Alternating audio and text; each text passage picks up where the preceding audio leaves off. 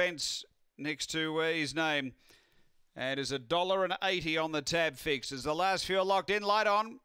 We're set to race. Six of the night here at the bridge. Favourite in the pink, Terrific Keith.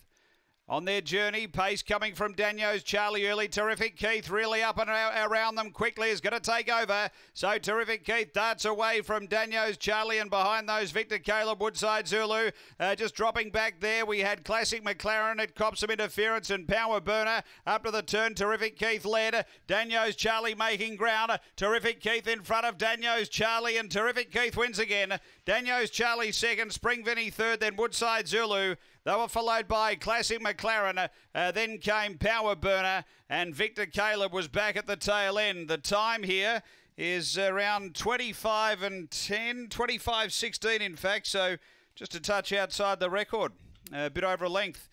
Uh, number eight, the winner, which is terrific Keith, Rossi Chegia, and has made it uh, four in a row over the track and trip here, but continues the picket fence.